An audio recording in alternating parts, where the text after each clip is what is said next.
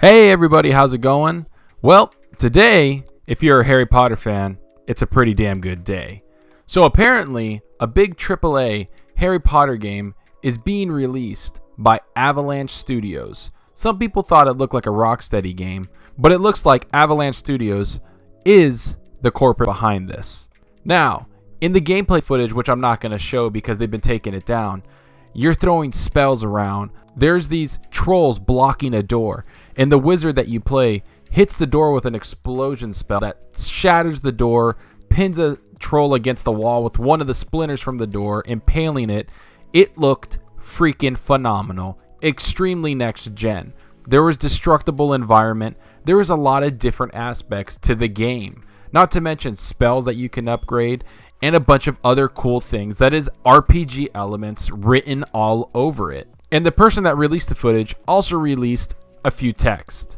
They said there was information about the game. It's set in the 19th century, so 1800 Wizarding World. Its third person open world action RPG game centers around your character and its unique abilities. And you have earned late acceptance to the Hogwarts School of Witchcraft and Wizardry.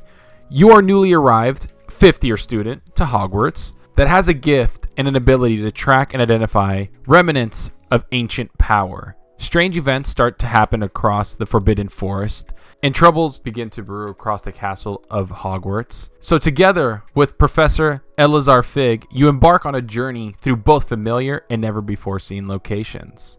On your quest, you will craft potions, master spells, discover fantastical beasts, and also battle dark wizards, goblins, and other supernatural enemies to uncover the truth about your destiny and the fate of the wizarding world. Talk about a huge storyline. Everybody knows that Harry Potter is a phenomenon. I'm a huge Harry Potter fan. I've read all the books, I've seen all the movies. I think Harry Potter is one of the greatest franchises out there, and not to mention one of the most unique, obviously. So, let's talk about some of the features that this game is going to have. You could journey through Hogwarts and become eight different wizarding types, experience Hogwarts, make new friends, uncover new secrets, and change the fate of the wizarding world. Experience a new magic system that creates countless possibilities to master the magic that you want. It kind of seems like they're going to put the combat together, and maybe you can mix and match spells to cause havoc and rain terror on your enemies. Freely explore the wizarding world for the first time. Choose your house that you want to be Gryffindor, Hufflepuff, Ravenclaw, Slytherin.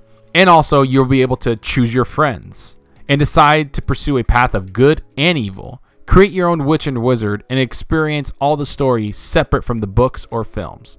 So the game is going to be separate from the Harry Potter world and the franchise that we know and the characters that we know. I'm pretty sure there's going to be hints of them because it's such a popular and world-renowned franchise. But I have to say, that you can go evil or good in the game really makes it intriguing.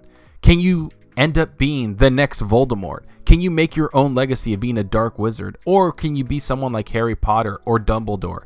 I think these are pretty badass features for the game. I want to see it played more. The gameplay footage, you can look it up. It's about a, a, minute and 20 seconds long. You can find it somewhere, but I don't feel comfortable putting it on my channel. But you should go really check it out. It truly looks next gen, and it looks like a lot of fun. To me, it looks a little bit like a Rocksteady game, but I don't think it's them. I think it's Avalanche Studios. So everybody, check out the footage. Go look it up. It looks absolutely stunning, everybody. I really recommend you go check it out. Well, everybody, like always, enjoy your gaming, and I'll talk to you later. Have a good one.